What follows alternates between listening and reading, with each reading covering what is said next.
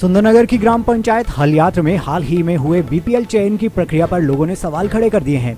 पंचायत की ओर से ऐसे पात्र लोगों को निकाल दिया गया है, जो कि शारीरिक रूप से दिव्यांग थे। चंपा देवी का पति शारीरिक रूप से दिव्यांग है।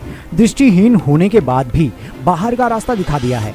चयन को लेकर लोगों में रोष है। तरीके से किया गया है और मतलब इस प्रकार से मतलब पंचायत पक्षपात ना करे और मतलब बार बार पक्षपात करती है और मतलब अपने चहितों को मतलब बेनिफिट देती है ना जी?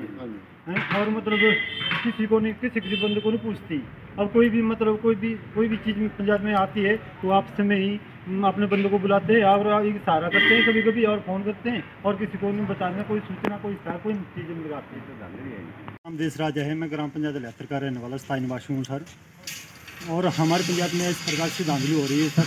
जैसे कि मतलब देखा जा रहा है कि मतलब किसी न किसी और की पास किया जा रही है और बाद में किसी न किसी और को दी जा रही है। और नंबर एक, सर, जो तीन तीन पाँच दो हज़ार इक्कीस को एक ग्राम सभा हुई थी तो वहाँ उप प्रधान ने स्वयं कार्रवाई की और आप कार्रवाई रजिस्टर पे, आप, आपने आप मतलब कार्रवाई की और अपने चैतों के नाम डाले। सेल्फ में अपने चैतों के नाम डाले गए और मैं प्रशासन से ये मांग करता हूँ कि इस प्रकार से धांधली ना हो। और गरीब लोगों को मतलब जिसको जो सहायता की ज़रूरत है उसको सहायता मिले और जो मतलब आईआरडीपी का और बीपीएल का चयन किया गया तो वहाँ भी उन्होंने मतलब किसी को उस ग्राम सभा का काम मतलब कोई बताया नहीं, कोई सूचना नहीं, कोई इश्तहार कोई चीज़ नहीं लगाई गई। तो वहाँ भी अपने चाहते ही बुलाए गए और मतलब आईआरडीपी से ऐसे बंदे काटे गए, जैसे दिव्यांग मतलब चंपा देवी का घरवाला, अपंग है, बिस्तर पर है और इसकी एक सौतन है, वो भी बिस्तर पर लेटी हुई है और एक बहुत गरीब परिवार है। और मतलब जो उनके बदले में डाले गए उनके पास स्कूटी और दुकानें कोई बिल्डिंग का काम करते हैं और उप प्रधान खुद आई में है एबीपीएल में है और उसका भाई मोहन सिंह उसको वो भी बी परिवार से संबंध रखता है और उसकी जो घरवाली है वो आशा वर्कर आठ हज़ार रुपये मतलब मंथली उसकी जो है तनख्वाह है, है सर मैं प्रशासन से ऐसा करता हूँ हाँ, आशा करता हूँ कि उन लोगों को तुरंत काटा जाए और गरीब से गरीब मतलब उनको आई में डाला जाए। सर। नाम परशुराम है, ग्राम सुधार कमेटी का मैं सेक्रेटरी हूँ और जो नोटिफिकेशन भरे गई है, जो दो रेट वाले है, उनको नहीं दिया जा रहा है, जो हाई वाले उनको दिया गया है। वहीं से तरीके से पत्थर निकाल रहे हैं, वहीं दे रहे हैं। जब खान से पत्थर का, उनका, वो थे कृष्णा थी। तो इसके बारे में हम पंचायत से निवेदन करते हैं कि आप जो है सबको मतलब कृष्णा जो है ठीक ढंग से भरे जाए। और ऐसा निवेद्य से पत्थर निकालने से ऐसा नहीं भी जो कान के ऊपर फेंक दिया है। जो खान से पत्थर लिया जाए फिर जिसका दो रेट है उसको काम दिया जाए।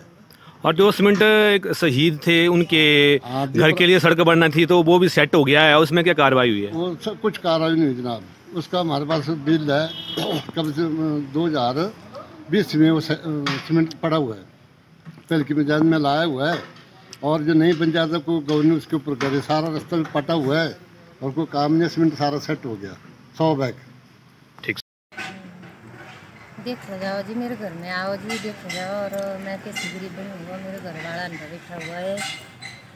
और आपको B P L R D P में पड़े हुए हैं मेरे को निकाल दिया है। कितने साल से थे आप? ऐसा कोई पता नहीं है मेरे को इन्होंने क्यों निकाला अभी? क्या पता जी क्यों निकाला है उन्होंने? अब मेरे घर की स्थिति देखो आप आके। तो आप सरकार से क्या जाते हैं? सरकार से सजाते हैं। देखो आओ मेरे घर में और देखो मेरे घर वाले की स्थिति भी देखो और मेरी सौकन उसकी स्थिति भी देखो। आपका नाम क्या जी? मेरा नाम है चंपा जी। ग्राम पंचायत कौन सी है? लिहत्तर पंचायत है जी। वहाँ और तो नहीं इस तरह के कोई लोग निकाले हैं जो पात्र है और निकाल देगी हैं और कुछ लोग ऐसे डाल देगी ऐसा कुछ है?